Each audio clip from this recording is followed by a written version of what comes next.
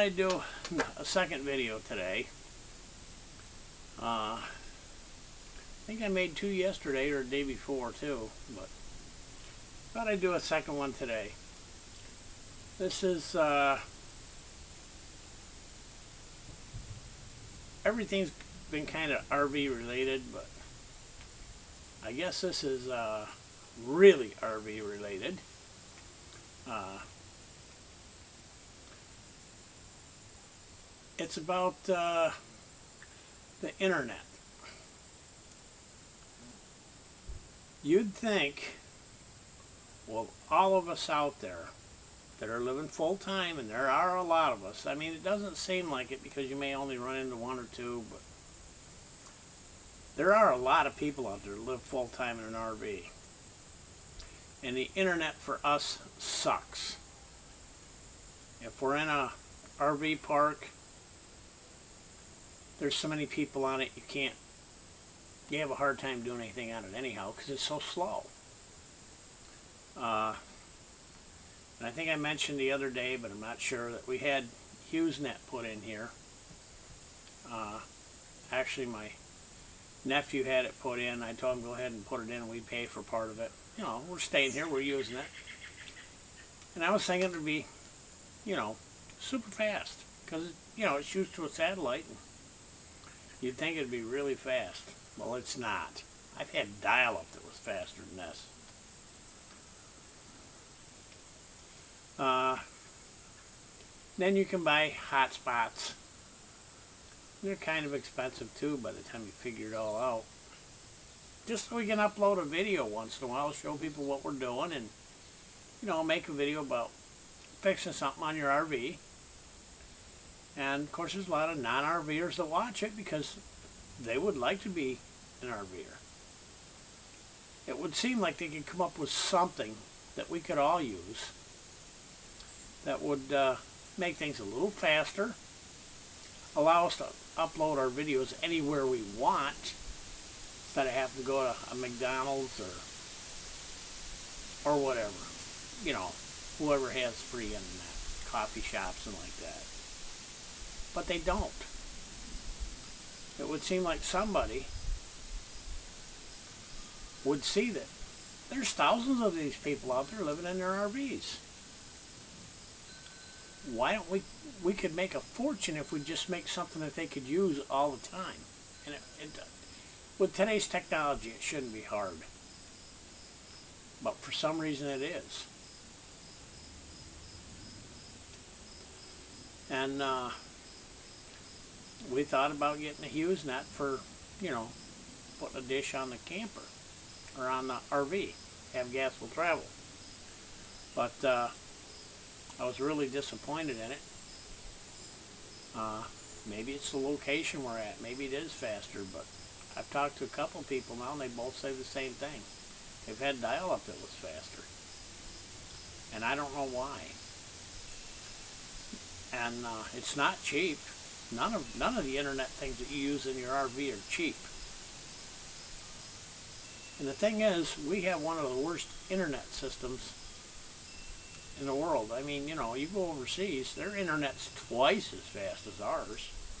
Of course, they have all, I don't want to say it? They We had it first. We're still using a lot of lines and equipment that were originally put in, where they have because they put theirs in afterwards, their systems have been upgraded, even though they're new to them. Uh, I know in Europe, their their internet's a lot faster. I don't know how dependable it is, but I know it's faster. Uh, and it seems like we're kind of losing group here. Uh, if somebody came up with that, man, I know there's tons of people that would sign up for it. I know I would. Uh, it would just be real nice if somebody would set back and pay attention to us a little bit. I mean, we're we're a good group of people. You know, there's not just a few of us. There's a lot of us. There may only be a few here and a few there, but you add all those fews up and you have a lot. And uh, I don't know. It just seems kind of stupid that somebody hasn't come up with something yet that really works good. Uh, even with a hotspot, you have to have the hot, you have to buy the little unit, I guess. You have to pay for time on it and all that. then you have to, I don't know if you, we don't have a hotspot. I've never, actually, I've seen them. I've never actually used one, so I don't know if you have to have a special phone to go with it or what, but I want something that I can plug right into my computer and use my computer on.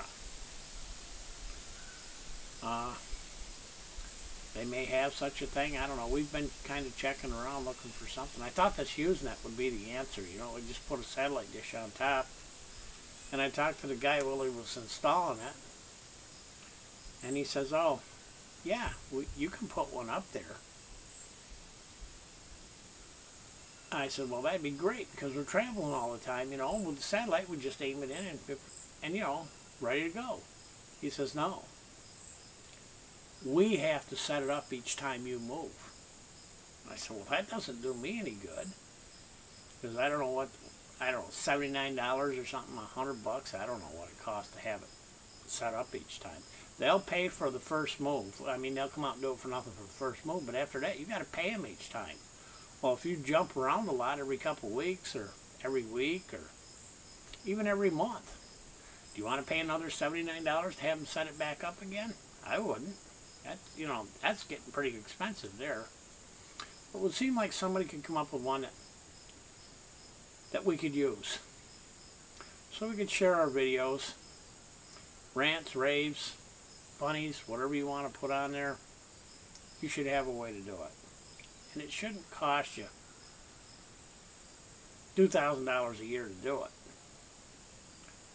But uh, I don't know, it just seems like kind of a sore spot to me that I can't get something that works wherever I go.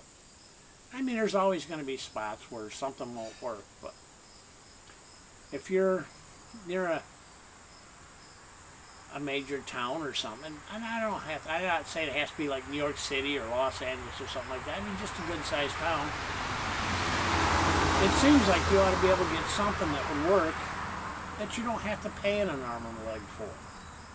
You shouldn't be limited to, geez, I can put two videos up and then I'm out of, I'm out of uh, gigabytes for the month or whatever. But uh, we're still learning here and I will find something. I'm going to have to buy something that, that works. When we're down in the park down in Florida, we're just going to have cable hooked up. Because a friend of ours that stays there already said, you know, they have free Wi-Fi if you can get on it. He says, you can get on it, but it'll kick you back off. Well, that's no good when you're uploading a video.